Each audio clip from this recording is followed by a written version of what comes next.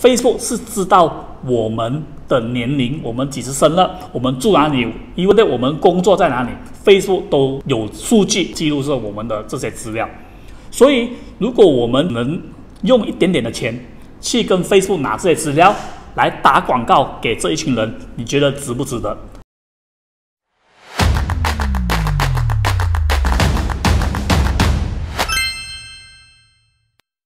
？Hello，大家好，欢迎来到色 IT Studio，我是杰森。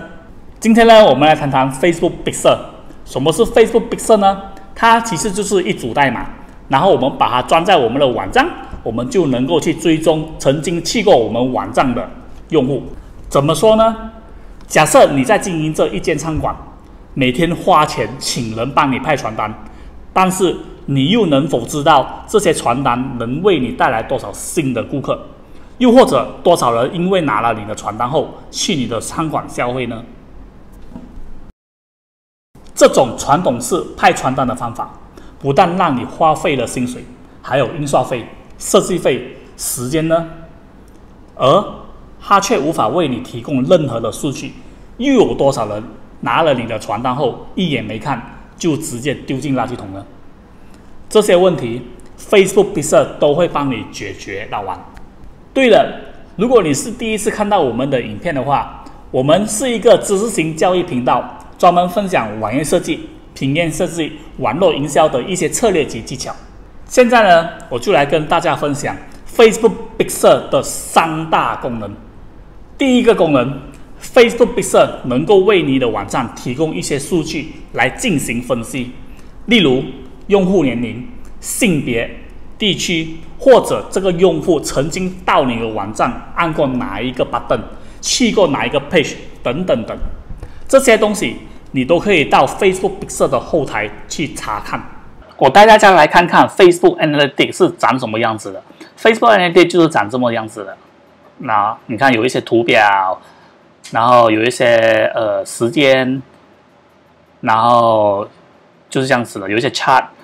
好，So 在 Facebook Analytics 里面，我们可以得到什么资料呢？首先，第一个就是我们可以知道在九十天有多少个用户新的用户进入我们的网站。好，就九十天有九百八十五个用户进入我们网站，然后他们他们呃第二天、第三天他们的回流量是有多少 percent？好，就大概三八天，然后停留多久？就大概两秒多。好，然后你也可以看到在二十四小时内。有多少个 unique user 进入我们的网站？unique user 就是的意思，就是说，呃，他们可能是透过你的广告啊，透过一些 form 啊，然后呃进入我们的网站，我们叫做 unique user。然后它里面也可以看到，呃，在一个月内，在一第一个一个月内，他们有多少个 user？一个礼拜或者是每一天大概平均多少个 user 进入这个这个网站？然后我们也可以懂。Traffic source 这个蛮重要的，因为 Traffic source 是可以让我们懂我们的呃 Google SEO 到底做的怎么样。好像这个我们可以看到 Search Engine，Search Engine 就是这个用户是透过 Google 他们找某一样产品，然后找到你的网址而点击进入了，这个叫 Search Engine，就是 Organic Search，就是你没有打广告，他们他们只是靠 SEO 的 Keyword 来找到你的网址。所以这个蛮重要，就就你可以省下，如果你的 SEO 做得好的话，你你的 Organic Search 会帮助帮你呃找到你的精准的用户，然后 Direct 就是说，你可能他可能直接 key in 你的网址，他懂你的网址，直接 key in 你的网址而进入你的网站。Referer 就是 Referer 跟 Social Media 是是大概是一样的东西，就是呃他们可能是透过 Facebook 啊的 Body。各巴地的呃一些 platform，像 Facebook、WhatsApp 一些 link 一些啊进入你的网址的，我们叫 referral 或者是 social network。然后你也可以看到呃 location，我们因为我们是呃马来西亚人呐，所以马来西亚的用户会比较多哦。然后你也可以看到呃这个就是刚才前面的那个 new user。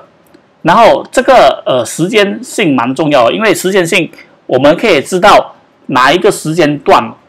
用户浏览我们的网站比较多，好像我们可以看到，哎，凌晨十二点到一点，或者是六点到呃八点这个时间段，哦的，就是大概傍晚到晚凌晨晚上的时间，我们的这个网站的用户浏览我们的网站比较多，所以这样的话，我们当我们打广告的时候，我们可以专门针对这个时间时间阶段来打广告。哦，可能现在呃早上或者是呃八点到到四五点的时候，可能在工作，他们就没有没有没有人有兴趣，就是浏览这个网站，然后去买单，因为这个网站是做一个是一个呃怎么说呢，就是 home appliance，就是电器店的一个啊卖风扇啊卖灯泡啊的一个网站。哦，然后 bounce rate，bounce rate 也是蛮重要的，bounce rate 的意思就是说，当这个用户进入了你的网站。他离开的几率有多大，就 bounce rate，所以 bounce rate 越低的发现率是越好了。二十二八线的意思就是说，当有一百个顾客进入你的网站，有二十二个顾客会离开。好，所以当然 bounce rate 是越低越好，就是代表人家离开你的网站的几率就越低。好，所以二十二八线算 OK 啦，比都是三十八线。然后 top web page 就是说。呃，你可以知道那些用户对你网站的哪一哪一个 page 哪一面比较有兴趣，好，他可能就是哎，他可能我们可以你看一个 thread，一个 thread 的就是你的 home page 咯，然后他对什么产品好像呃 when 呃 DK Dan Dash break 这个产品比较有兴趣，然后或者是呃 ventilation fan 比较有兴趣，好，然后你这边也是看到，因为它是卖电器嘛，所以你可以看到男性的。的浏览量会比女性来的高，五十一八千五十一点三八线是男性，二十五点四八线是女性。好，然后我们也可以看到年龄层就在二十五到三十四岁，有二十九八线的年人，呃，是属于这个年龄层。然后三十五到四十四十四岁有二四八千。所以当我们做后期的 remarketing，就是打广告的时候，我们可以针对这两个群组的人，二十五三到三十四。跟三十五到四十四的年龄层的人来打广告，然后可能我们专攻男性，哦，属于马来西亚，